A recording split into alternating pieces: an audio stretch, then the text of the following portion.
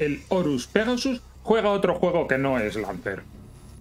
Tiene unas puntuaciones bastante estándar en general, no excesivamente llamativas, 7 puntos en sistemas, pero donde destaca es en sus sistemas personalizados y en sus armas. Tiene probablemente la que sea el arma y la capacidad de núcleo más idiosincrásicas de todo el juego, que es el, el cañón Ushabti, que es un cañón que no existe, es un cañón paracausal, no existe, dispara en el futuro, pero el disparo llega ahora al presente, pues porque es tecnología paracausal, y su daño no se puede reducir ni evitar de ninguna forma. Además de este cañón, tiene un montón de, habilidades para eh, realizar eh, daño de forma automática, para manipular de forma muy profunda las probabilidades tanto propias como de los enemigos y en general meterse un poco por todas partes donde pueda estar alguien lanzando un dado.